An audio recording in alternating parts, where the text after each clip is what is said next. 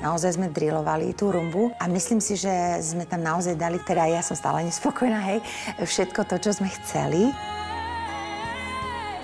Ale netušila som, že by sme našich divákov a mojich známych ako rozcítili, že aj plakali a že to bolo dojemné. Ešte aj môj bývalý partner, ktorý vlastne tiež tancoval v Let's Dance, tak mi napísal, že moja rumba ho dojala. To ma teda veľmi prekvapilo.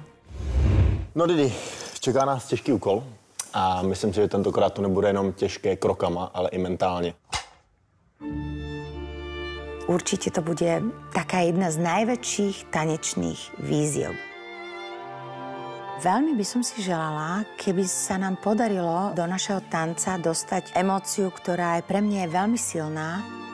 Napríklad zo svojej skúsenosti viem, že keď mne sa stala takáto nejaká vec, že vás niečo veľmi zlomí, aj tak každý cíti, že v tej, v tej bolesti zostávate sami.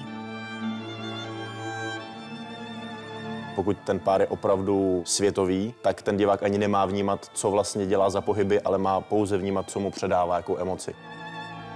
Cítím, že to je velký závazek pro mě, abych vlastně já vůbec kdy stačil. Sila dvoch ľudí, ktorí sa veľmi milujú a prídu k momentu, kedy musia byť oddelení. Neviete, či sa ešte uvidíte. Podľa mňa to je tak niečo silné. Je to čím dál tím míň o krocích, ale o té emocionální stránce. Láska, odlúčenie, nádej, strach. Jestli tady to téma někdo zvládne předat, tak seš to ty.